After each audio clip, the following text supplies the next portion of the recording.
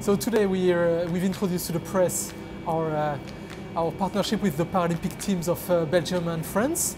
And in particular, we're here at Temple Mills in the depot to introduce the work we're doing on the train set to accommodate on board the Paralympic teams.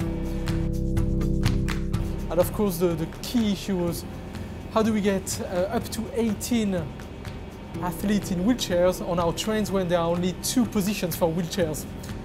We take out of two coaches the seats and uh, we put in place a number of uh, uh, additional features so that the wheelchair users can sit there.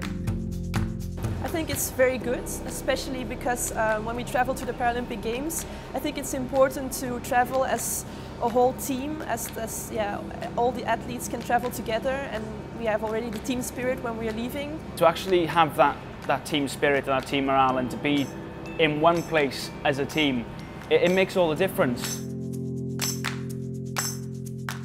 For us, athletes, it's important, no stress, not um, long day to travel. I think it's very important that Eurostar is uh, the first train that uh, adapts um, their trains for wheelchair users and uh, hopefully in the future other companies will do this.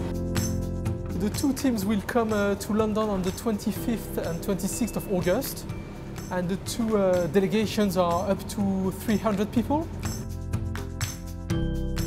I'm very much looking forward to the, my second Paralympic Games. I'm happy that it's getting closer and I'm, I'm very excited to perform there.